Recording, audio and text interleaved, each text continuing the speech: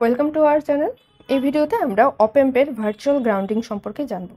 তো ডেফিনেশন অনুযায়ী বলা যায় virtual ground is a node of a circuit that is at a steady reference potential without being directly connected to the reference potential তো সহজভাবে যদি বলি, কোনো একটি অপেম্পের একটি রেফারেন্স পটেনশিয়াল যদি ধরে নিই, ধরে নিলাম এই দুই নং পয়েন্টটি আমাদের রেফারেন্স পটেনশিয়াল এবং দুই নং টার্মিনাল গ্রাউন্ডেড করা আছে।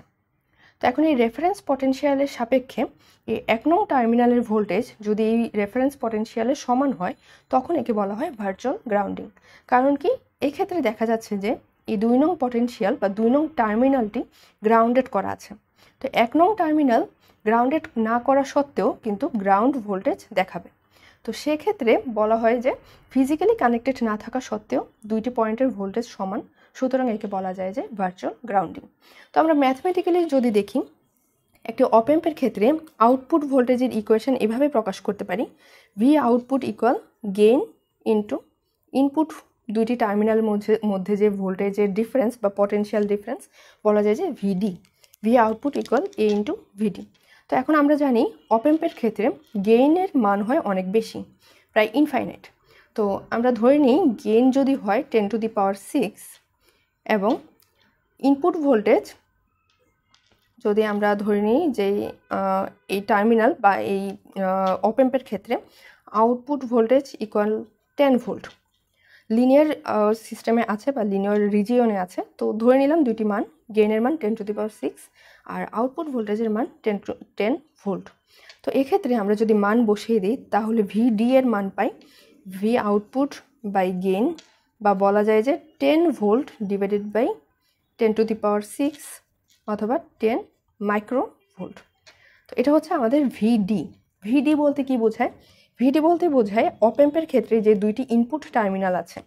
দুইটি ইনপুট টার্মিনাল কি? এক নং টার্মিনাল দুই নং টার্মিনাল তো এই দুইটি টার্মিনালের ভোল্টেজকে যদি ভি ওয়ান আর ভি টু ধরে নিই, তো ভিডি বলতে বোঝায় দুই টার্মিনালের মধ্যে যে পটেনশিয়ালের ডিফারেন্স সেটা।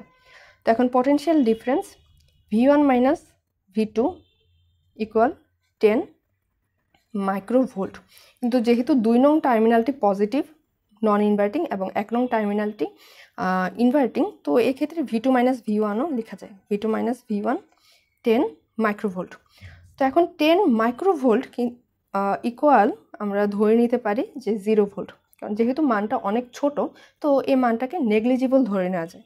তো যদি V two minus V one equal to zero volt হয়, তাহলে আমরা লিখতে পারি V two equal V one তো এখন ভি টু আর ভি ওয়ান কী ছিল?